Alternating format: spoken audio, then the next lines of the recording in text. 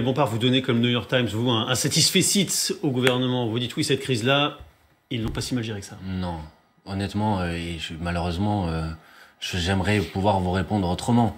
Mais honnêtement, vous parlez de comparaison internationale, madame. Il se trouve que j'ai travaillé sur un certain nombre de comparaisons internationales. Quand vous comparez, par exemple, le nombre de tests qui ont pu être faits en France par rapport au nombre de tests qui ont pu être faits en Allemagne, vous verrez qu'on n'était pas à la hauteur de la situation.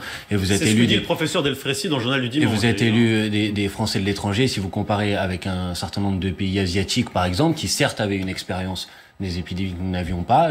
Prenais l'exemple, par exemple, d'un pays comme le Vietnam. Vous verrez que les choses ont été gérées de manière beaucoup plus précise et beaucoup plus sérieuse.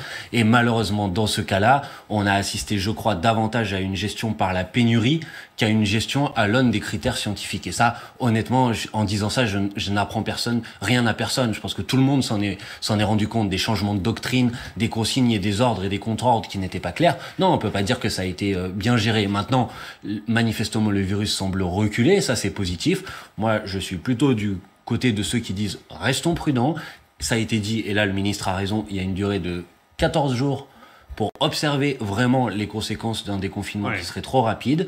Donc je suis quand même pour la prudence. Et c'est pas parce que le conseil scientifique dit autre chose qu'il faut forcément le croire parce qu'il a pas dit que des choses exactes dans cette période. Non, je veux, enfin, je veux pas être l'oiseau de mauvais augure comme tout le monde. J'aimerais bien que ça aille mieux, mais je, je, je crains que, en tout cas, dans la dimension de l'impact social de la crise du coronavirus, malheureusement, on n'en soit qu'au début.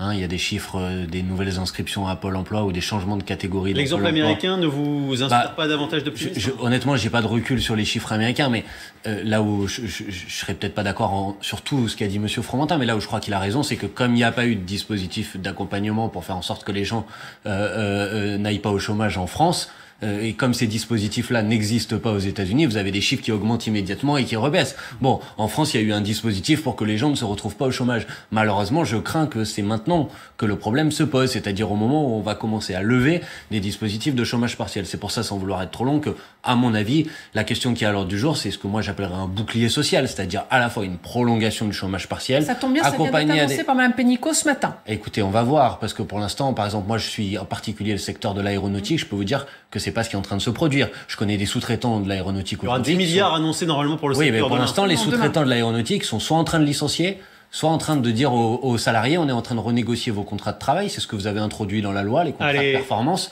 où les gens renégocient leur salaire à la baisse pour garder leur emploi. Donc, vous voyez, pour l'instant, malheureusement, c'est plutôt ça que euh, une- un bouclier social comme, comme je l'entends.